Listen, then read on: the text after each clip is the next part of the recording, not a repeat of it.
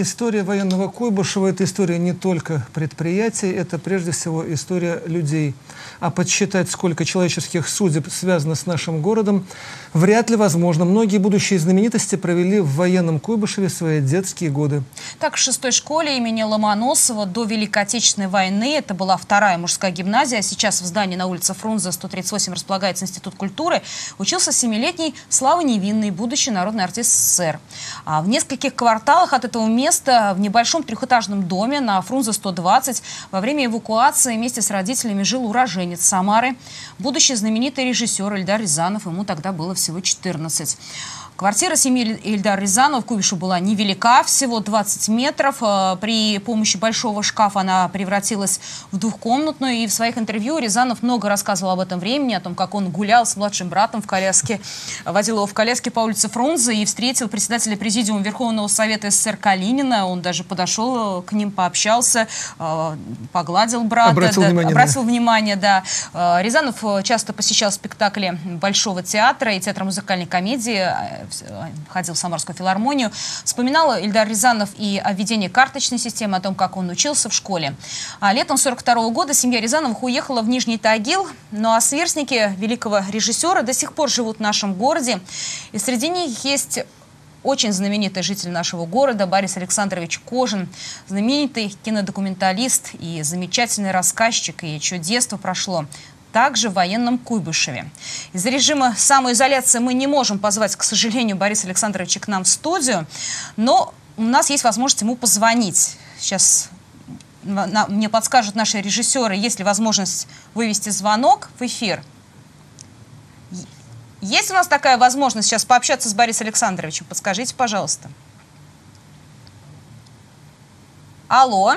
Да-да-да. Борис Я Александрович, слушаю здравствуйте. Здравствуйте, здравствуйте. здравствуйте. Мы поздравляем вас с праздником. С Днем Великой Победы вас! А я вас поздравляю с этим праздником. Вы себе даже не представляете, с каким праздником. Так расскажите же нам, Борис Это Александрович. самый великий праздник, запомните, из всех, которые существуют в нашей стране. Мы с вами согласны, с вами согласны. Расскажите. Борис Александрович, вы, когда началась война, сколько вам было лет, напомните? И как вообще вы маленьким мальчишкой вот восприняли это событие? Как поменялась ваша жизнь в эти годы? Борис, Ну, давайте я попробую вам хотя бы в нескольких словах рассказать. мы можем слушать вас Я бесконечно. родился в 1938 году. Мне было три года, когда началась война. Когда кончилась, мне было семь лет. Но Ну, я так понимаю, что вы помните эти годы. Еще вы, вы, вы себе даже представить не можете, как я это а помню. как вы встретили? Я, вернее, никогда их не вспоминаю, потому что никогда не забываю. Я э, слушала Ведь вас... что такое Куйбышев? Вот послушайте меня. Куйбышев в 1941 году. Ведь это небольшой город, небольшой, всего 447 тысяч человек населения. Всего 447 тысяч.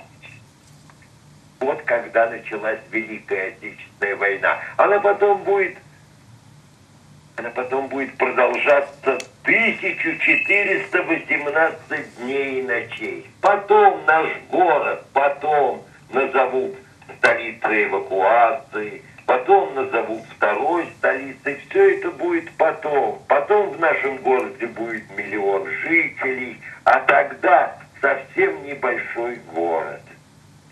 Я вырос в семье врачей. Моя мама врач. И вот о врачах в годы войны мне хотелось бы сказать отдельно. Я маму видел поздно вечером, возвращающуюся домой. С работы? Да, с работы, говорила она, с железной дороги. Мы там снимали больных детей вместе с их родителями, которые ехали в эвакуацию. Но доехать дальше Куйбышева не могли. Дети были больны, дистрофия. Понимаете? И вот врачи детской поликлиники номер один, что на Самарской улице, дом 89. Знаменитая поликлиника самарская, эта да. поликлиника. Снимали детей с родителями, вылечивали, прижимали к груди, ставили на ноги, выкармливали, выкармливали, привозили их домой. потому что надо было отдельно покормить ребенка, отдельно согреть его. Вот так для меня началась, началась Великая Отечественная война. Маленьким детям, в том числе и мне, и моему брату, мы близнецы, маленьким детям давали, помимо карточек детских, давали еще маленькие булочки. Они назывались УДП усиленное дополнительное питание один раз в день. Очень крошечные, маленькие булочки. А врачи хохотали. Врачи хохотали. Усиленное дополнительное питание, говорили они, УТП, это называется «умрем днем позже» и умирали от хохота. Город жил очень тяжело и хохотал. И вот этот хохот, вот это вот постоянное веселое настроение в глазах и полная уверенность в победе помогала выжить этому городу. Вот поверьте поверьте, тогда появились карточки. Они появились у нас 1 ноября 41 года.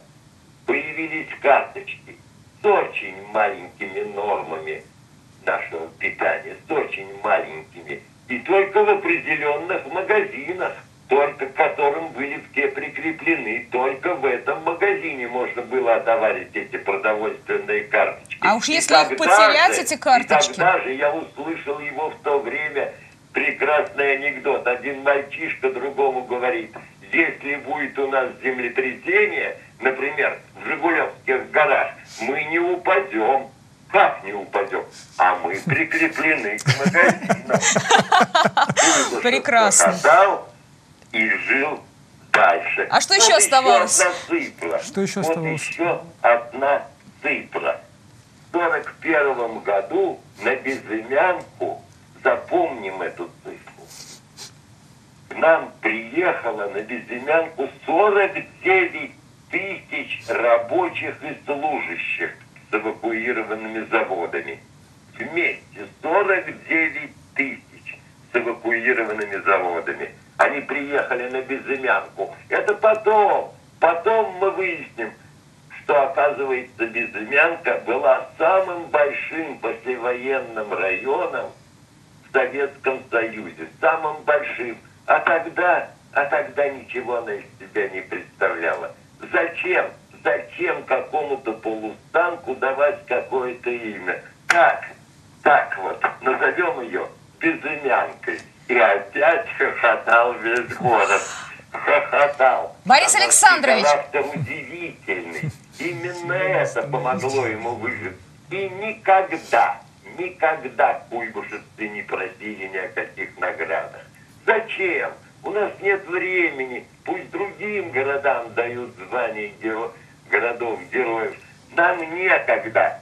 Мы работаем. Здесь тыл был фронтом. Всего несколько слов. Но за этим только страданий, только героизм, только мучений и Сейчас столько достоинства, что это невозможно совершенно передать. Вот стоит памятник, называется он самолет, самолет Ил-2. Это же удивительная вещь, то, что в нашем городе производился этот самолет на нашем авиационном заводе. Вы знаете, мы к 30-летию Победы на студии кинохроники, где я проработал больше 40 лет, мы сняли фильм, называется он «Возвращение», режиссер фильма Борис Свойский. Наш самолет Ил-2 вернулся на свою вечную стоянку. Так мы сняли фильм «Возвращение», один из главных эпизодов, как его этот самолет по безымянке днем везли на место своей вечной стоянки. Как Бо... люди смотрели. Борис Александрович. Как они плакали. Как они, как они невозможно передать, как они смотрели Потрясающая, на пот- этот потрясающая история, Борис Александрович, просто потрясающая. Спасибо вам огромное за то, что вы дождались нашего звонка, за то, что вы рассказали нам все эти чудесные истории, которые просто потрясают и трогают нас. Спасибо, что в этот замечательный день вы провели эти минуты с нами. С праздником вас, с праздником Великой Победы. Здоровья И вам, вам Борис Александрович. Живите большое долго. спасибо. Мы, журналисты, Долгих вас очень жизни. любим. Да. С праздником вас! С праздником. До свидания. тоже с праздником. До свидания. До свидания.